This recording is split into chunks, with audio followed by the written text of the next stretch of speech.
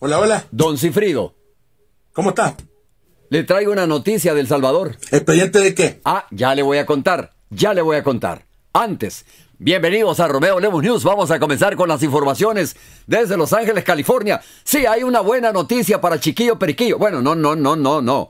No es una buena noticia para Chiquillo Periquillo, pero es una buena noticia para todas aquellas personas que en determinado momento se han sentido ofendidas y vulneradas por este personaje, por este señor Alex Sumansor.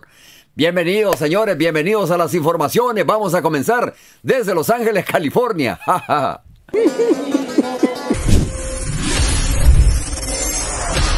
Ahora, las noticias desde Los Ángeles con Romeo Lemos. Vamos, vamos, vamos a comenzar, señores, con las informaciones y les tengo una mala noticia. Yo estoy triste.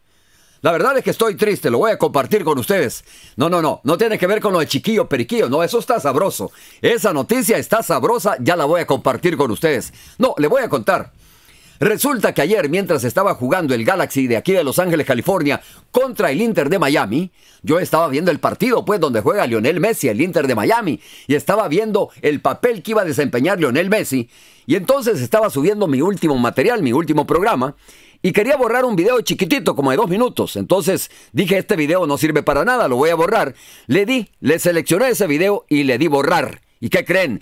Me eché 19 programas de un solo de mi canal de YouTube, de los últimos programas que he grabado, 19 programas me eché de un solo. No pude dormir toda la noche.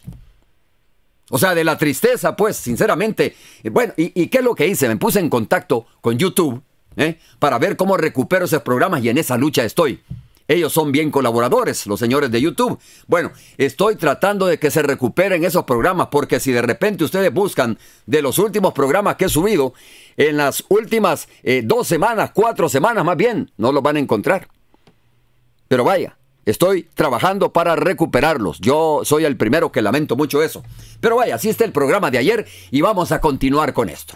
Dicho eso, aclarado eso, miren, lo de chiquillo periquillo, señores, yo se lo dije, se lo dijimos varios salvadoreños, buenos salvadoreños. No, es que este señor no puede andar tan desbocado. La No puede andar insultando, este difamando perro contra el es- presidente de la República, la primera dama, contra los youtubers, contra los diputados y hasta que al fin, señores, hasta que al fin le llegó. Seis años de prisión se ha decretado, ha emitido un juez en contra de este personaje Alex Sumansor, chiquillo periquillo. ¿Se recuerdan ustedes cuando el consulado de Los Ángeles lo citó? Bueno, primero quiero aclarar que no sé si se trata del mismo caso o va a tener otro caso o tiene dos procesos judiciales, pero en este caso sí, ya hay una sentencia de seis años de prisión.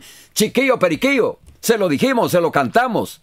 Es que no puede venir a difamar, no puede venir a decir lo que quiera y no tener ninguna consecuencia. La diputada Alexia Rivas ganó este caso. Solamente de manera general les puedo decir que gracias a Dios se ha hecho justicia, hemos obtenido un resultado favorable, así que invito a todas las demás mujeres que también han sido víctimas de violencia que se acerquen a las instituciones respectivas para que puedan también en algún momento recibir la atención que necesitan. Muchas gracias, gracias a Dios hemos ganado, tenemos un resultado favorable y eso también al increíble acompañamiento de la Fiscalía General de la República. ¿Cuál fue el resultado? ¿Qué es lo que se viene ahora? Lo que se puede venir ahora es bien sencillo saberlo, deducirlo. Va a venir Interpol, va a girar una orden de captura contra este señor, ¿eh? Y van a tener que deportarlo a El Salvador probablemente. Primero me imagino que se va a andar escondiendo.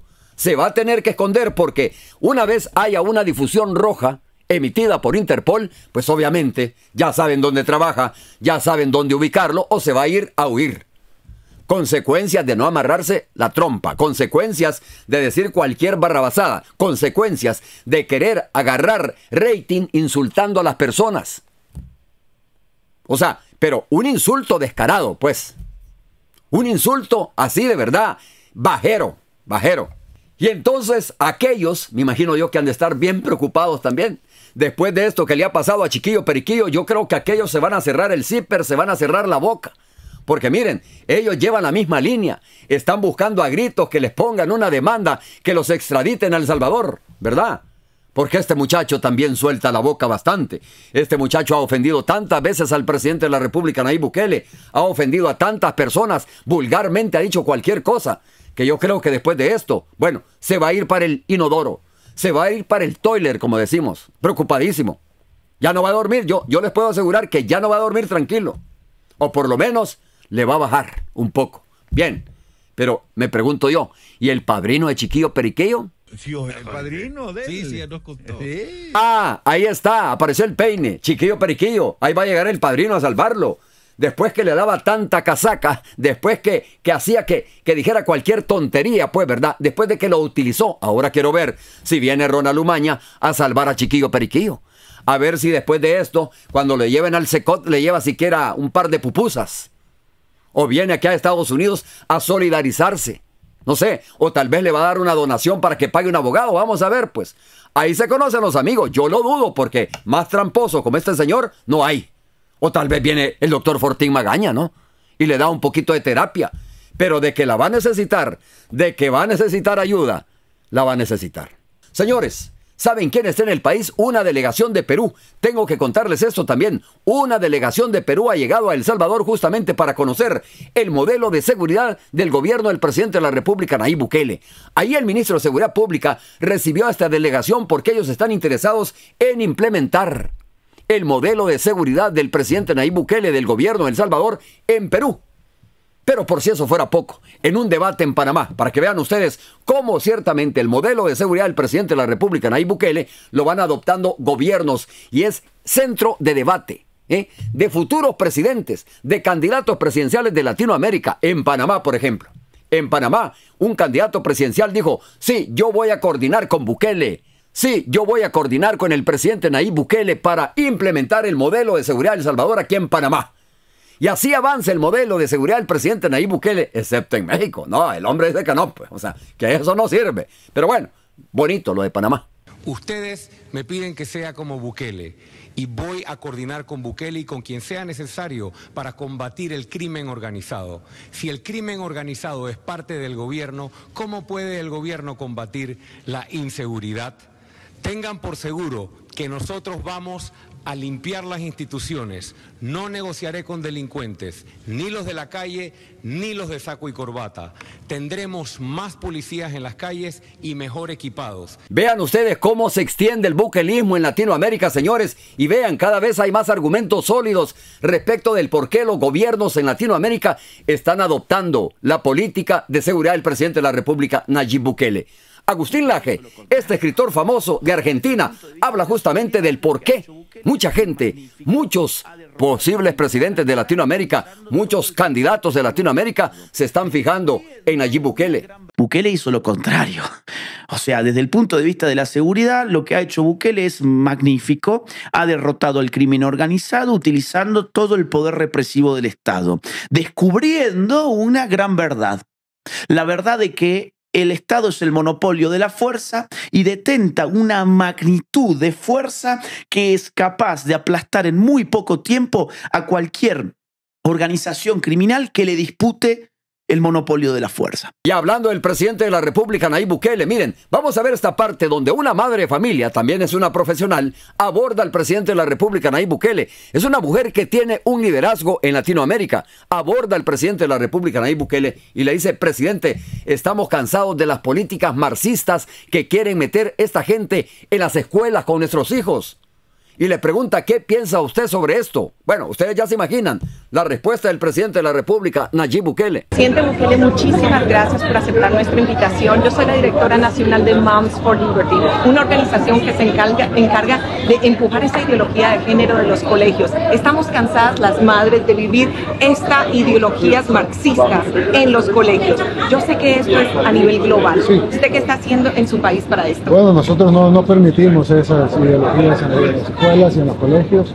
Creo que es importante además no solo que la currícula no lleve esta eh, ideología de género y todas esas cosas, sino que también es importante que los padres estén informados y tengan eh, voz y voto en lo que van a aprender sus hijos. Justamente. Nosotros confiamos en nuestros hijos, que es lo que más eh, vale para nosotros, se los confiamos al sistema educativo para que les enseñen eh, cosas útiles en su vida, biología, matemática, eh, claro, cosas eh, importantes eh, para su aprendizaje, y luego vienen y quieren meterles ideologías, eh, quieren meterles cosas contrarias a la naturaleza. Además pagado por los taxes. Claro, pagado por los impuestos, pero aparte de eso, eh, yo creo que al final a mí no me molestaría pagar si tuvieran una educación de verdad. Basado en pero, lo académico. pero nos hacen pagar para que tengan una educación contraria a la naturaleza, contraria a Dios, contraria a la familia, contraria a lo que los padres queremos. Ese es el verdadero peligro y hay que erradicar eso de las escuelas porque no es, no es así nomás que pasa, es un plan premeditado para destruir a las futuras generaciones.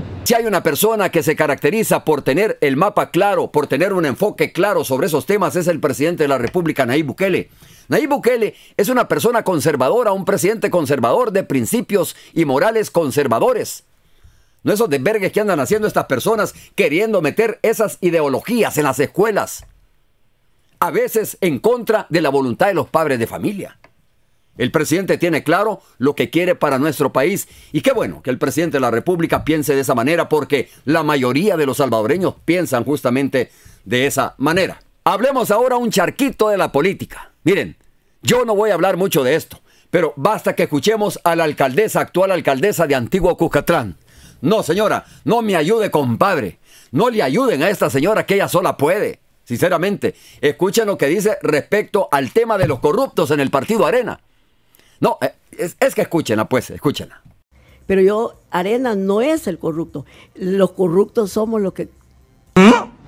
O sea, lo que ocupan, lo que han hecho en el, en el territorio. Las personas. Cuando digo somos, porque somos todos los de Arena. Lo sospeché desde un principio. Pero bueno, no solo eso. También dijo otra frase bien bonita. Y me recuerdo que yo ni hablar podía en público. Y el mayor Roberto Dawison me hizo mi papel y lo perdí, me regañó. Pero después, papito, me entrenaron que hasta andaba ofreciendo puentes con todo y río. ¿Dónde lo iba a hacer? No sé. La alcaldesa de Antiguo Cucatlán, que va a buscar un periodo más, que ya lleva más de 30 años ahí, pero no es dictadura. Vean lo que dijo respecto a las enseñanzas que ella tiene. Que hasta andaba ofreciendo puentes con todo y río. ¿Dónde lo iba a hacer? No sé. Sin pelos en la lengua para decir las cosas. Para decir que ella promete hasta lo que no puede hacer. Bueno, ella lo dice, pues. No se vayan a enojar conmigo. No se enojen conmigo. Digo para los de la oposición, ¿verdad? Porque lo agarran contra uno. Cuando la misma señora está diciendo que ella ha prometido hasta cosas que es imposible hacerlas. Cuando ella misma está diciendo prácticamente que, bueno, que los corruptos están en arena. Así es que, cálmense, bájenle al canasto. Amigos, llegamos al final. Muchas gracias por haber estado con Romeo Lemos News una vez más aquí en estas noticias que son las noticias diarias, que son las noticias actualizadas del Salvador desde Los Ángeles, California, y de vez en cuando hablamos de otros países. Nos vemos en la próxima.